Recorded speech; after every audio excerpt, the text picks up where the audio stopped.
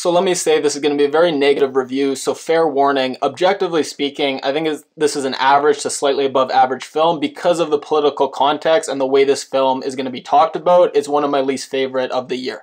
And if you say, look, it's unfair to talk about the political context, you should just focus on the film's technical merits. The director, the actors, everyone talks about how important this film is for the time we're in now. All the reviewers say the same, so I don't think that's an unfair. I don't think it's unfair to talk about the context at all. So there's a lot that I want to talk about, but I'm going to start by doing the opposite of what the film did and prioritize Daniel Ellsberg, the man who faced over 100 years in prison for what he did and the very serious fear that he would be assassinated.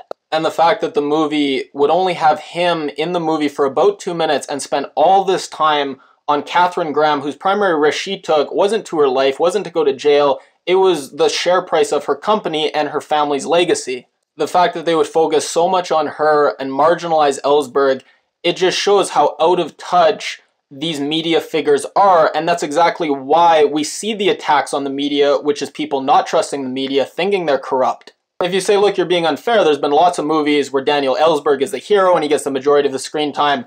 No, there isn't, or at least not very many well-known ones that people are going to see. So the fact that in the big movie, that's going to be the definitive movie about this event, at least in modern times, they completely marginalize him. And it's such an interesting story. This is a guy who loved his country, was a military guy, and did this knowing he was going to be then smeared as a traitor and someone who was unpatriotic and did it anyways. I would much rather see a movie where that had at least an equal focus to an obscenely wealthy person fretting about their share price and their family legacy. And by the way, this marginalizing of Ellsberg, it isn't an accident. The people behind this movie and the media in general, they don't support whistleblowers, they don't support leakers, they support their right to publish leaks that they think are worthy of being published. Who is the whistleblower and the leakers in modern times? Well, it's WikiLeaks and Julian Assange. None of the media support WikiLeaks and Julian Assange. They at best say he's irrelevant. At worst, they say he's a traitor and he's working with the Russians to undermine American democracy, which, by the way, is exactly what Nixon would have said about Ellsberg. And that's the whole point. For the people in power, it's one thing to look back 30, 40 years and say, Ellsberg, oh, he was great. What about the people now leaking emails and releasing your emails? Do you support them? No, of course they don't. And by the way, look up Mario Savio's speech. So it's a short clip. You can watch it on YouTube and listen to, he gives this great anti-establishment speech and listen to the rawness and the emotion in his voice. And that's why it was so powerful and resonated with people. And then in the film, they had an actor read this speech, but it sounded like an eighth grader who hasn't really prepared for reading his assignment, just monotone and flat, no emotion in his voice. I just couldn't believe it. But again, that just shows how the media, what they choose to focus on and what they care about, they could care less about that speech, and it shows. So the basic premise, that governments lie and media should call out the government when they're lying. Of course, everyone agrees with that message, but we've just had an example 10 years ago of Iraq, of the media, these same media they're talking about in this movie, the New York Times, the Washington Post, going along with the government, not being brave, not taking a stand, so if this movie was being read and talked about as, hey, media, use the example of the 1970s, get your act together and be a watchdog of the government and don't be so chummy and cozy with politicians, then I would totally support this movie, but that's not how it's being read. It's being read as, look at how awesome and pure the US establishment corporate media is.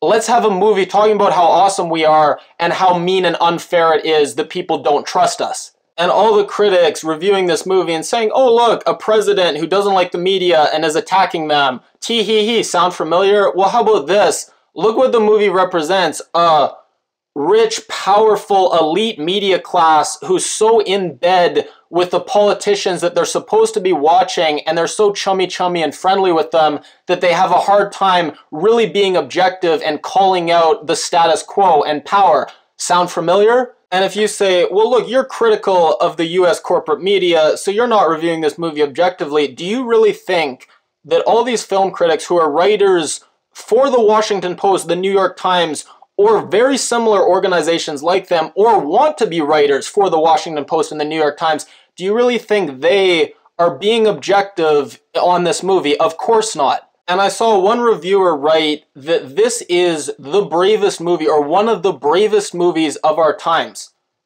So, a rich, powerful, beloved director making a movie with powerful, beloved actors that every single newspaper, every single critic, every single media outlet, every single award ceremony is going to love.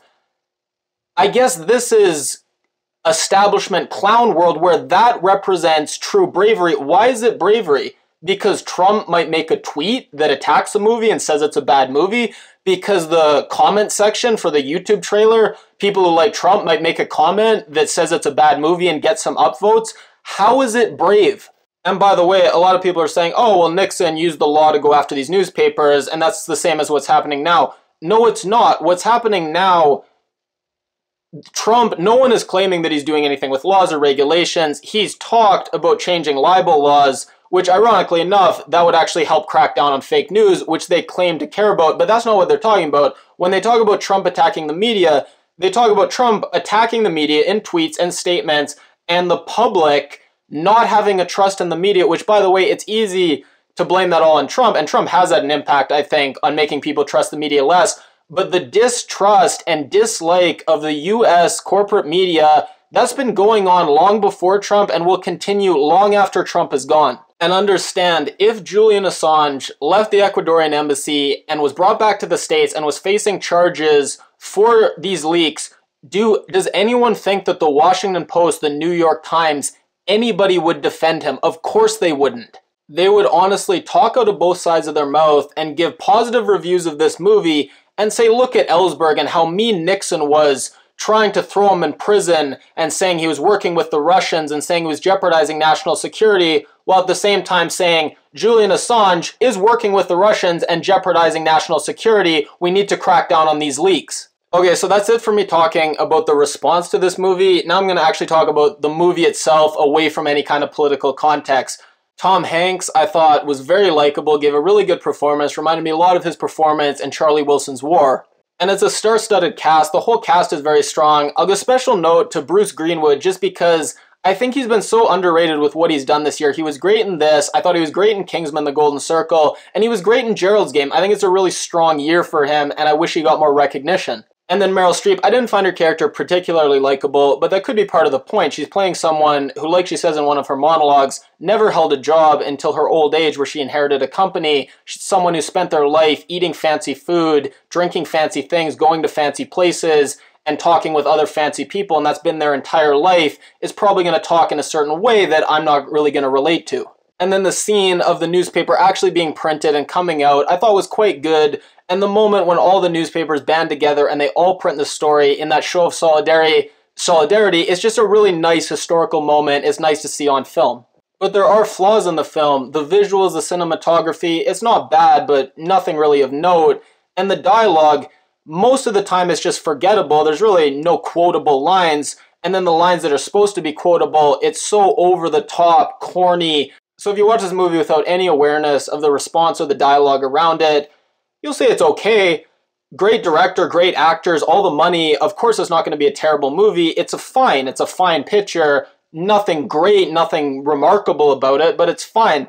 If you watch it with an awareness of the current media climate, either it's just going to confirm your views and you're going to say, oh, great, that's a wonderful movie, or if you don't agree and you don't like the media, no one who dislikes the media is going to watch this and be like, oh, you know what, I was wrong. The media is not corrupt. The media is not flawed. We just need to support the media more. People just need to trust the media more, and then everything will be fine in the country. No one's going to have that shift. So this isn't going to change anyone's mind. So as far as a really timely movie, I think it's a failure. It is timely, and it's going to confirm a lot of people and get them more cemented in what they already believe. But as far as a movie that's going to change any minds and thus have any impact on the world, I'd say it's not.